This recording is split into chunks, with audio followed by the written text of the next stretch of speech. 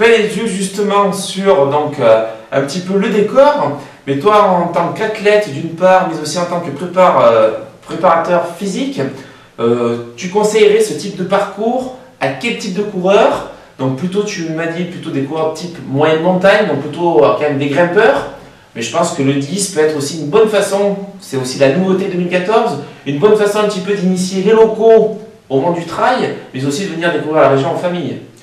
Bien sûr, en fait, euh, voilà, on peut, euh, quand on a un éventail 10, 20, 53 km, on s'adresse quand même à un maximum de, coureurs, que ce soit euh, du coureur confirmé de courte distance à, un coureur de longue distance. c'est sûr que sur le 10 km, on va toucher également des, coureurs qui ont un peu, un peu moins d'entraînement et qui, voire qui débutent. Donc, bien sûr, il y a du dénivelé, c'est proportionnel à la distance.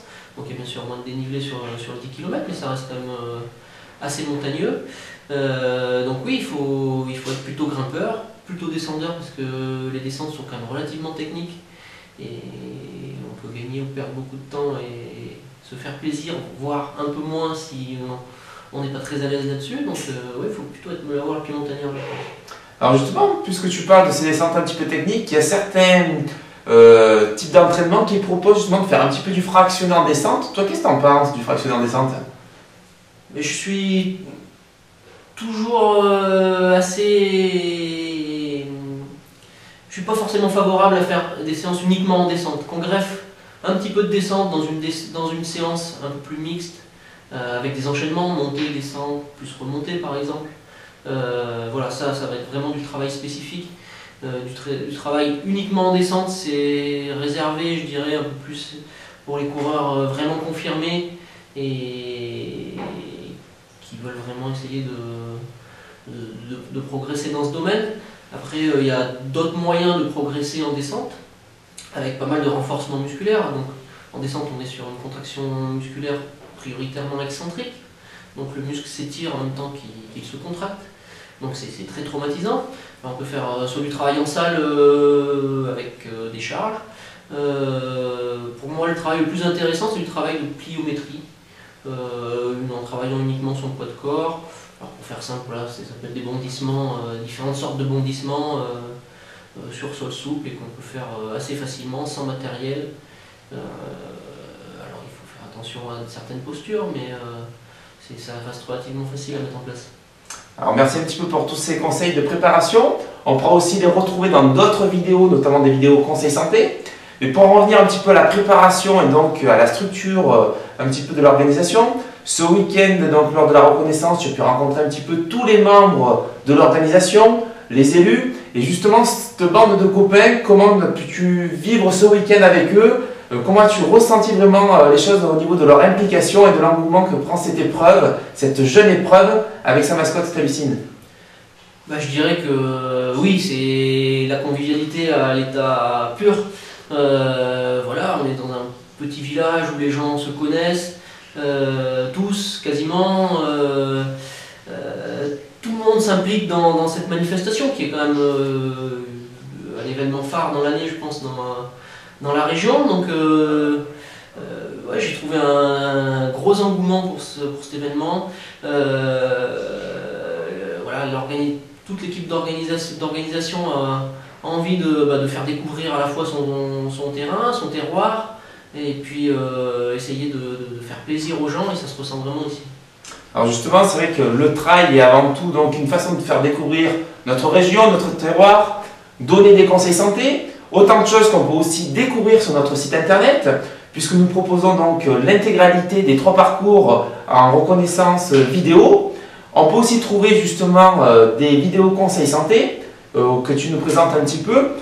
justement, toi, tu as déjà regardé un petit peu, j'imagine, le site de l'hecdgéant.com. comment tu trouves un petit peu le site? Est-ce qu'on trouve facilement les infos selon toi? Oui, mais c'est vrai qu'un site internet, il faut qu'on trouve je dirais, le plus rapidement possible l'information qu'on est venu chercher. Ici, c'est le cas. Euh, voilà, quelle que soit la course, on trouve euh, le parcours, euh, sur des cartes, le, le profil, des vidéos qui nous mettent vraiment dans, dans l'ambiance. donc on a toutes les informations dont on dispose. Les conseils, que ce soit santé, d'entraînement ou quoi que ce soit, c'est vraiment un gros plus. On voit vraiment que l'organisation s'implique à 200% avec euh, un gros travail qui est fait là-dessus. Donc euh, euh, voilà, ça, ça- donne envie de, venir découvrir la course. Donc ne la regardez pas qu'en vidéo, venez le 7 juin. Alors justement, pour finir un petit peu, notre mascotte Talucine, c'est un nom un petit peu humoristique. Comment tu trouves un petit peu cette idée d'avoir voulu à tout prix mettre une mascotte sur une jeune épreuve? Est-ce que ça représente et reflète réellement l'image que peut dégager ce travail? Oui, bah, je trouve ça oui, super sympathique. En plus, euh, je trouve qu'elle est bien réussie. Donc euh, voilà, c'est atypique. on- C'est quelque chose dont on se souvient, euh, même si forcément les gens ne, ne comprennent pas toujours la signification. Alors toi, Ma- Mathieu qui est kiné, tu, tu, tu- tu- c'est toi qui a, qui a créé le- cette mascotte. Alors c'est un petit peu une déformation, ouais. On peut te l'expliquer. Donc le talus, c'est un os euh, du pied. Donc euh, Plus connu sous le nom d'astragale. voilà. Euh, c'est quand même un os qui est, qui est important dans la vie d'un coureur. Tout à fait. Euh, donc voilà, puis ça a une consonance. euh, voilà. Avec le in, ça faisait dans le talus, dans le talon, parce que certains talus peuvent l'associer aussi au, au talon. Exactement. On peut aussi dire le talus, c'est aussi le talus. Donc les petites euh, côtes à franchir ici, parce qu'il y en a quelques-unes. Ouais, donc il y a plusieurs significations et je trouve que ça, ouais, ça correspond bien à la course. Alors justement, lors de nos deux premières éditions, les coureurs nous ont dit euh, la chaussée des géants, c'est hallucinant. Est-ce que justement, toi, à travers un petit peu ta reconnaissance au week-end, tu trouves qu'en Ardèche, t'hallucines? Alors, en Ardèche, t'hallucines grave, ouais. Écoute, merci Julien pour cet entretien. Vous pourrez retrouver donc cette vidéo sur notre site internet lachausséedesgéants.com.